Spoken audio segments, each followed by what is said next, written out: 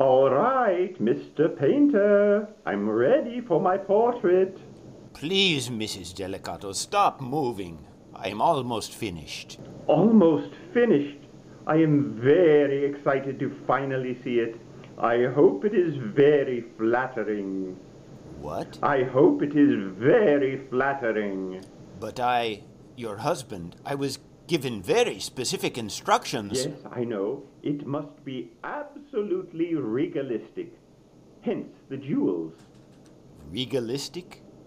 I do not even think that is a real word. I am so glad your husband paid me in advance. Twinkle, twinkle, little star, I've got oranges in my bra. Stuffed it with a couple of Valencias, combed my hair in the tres potencias. I'm Senora Delicado, proudly hanging in the Prado.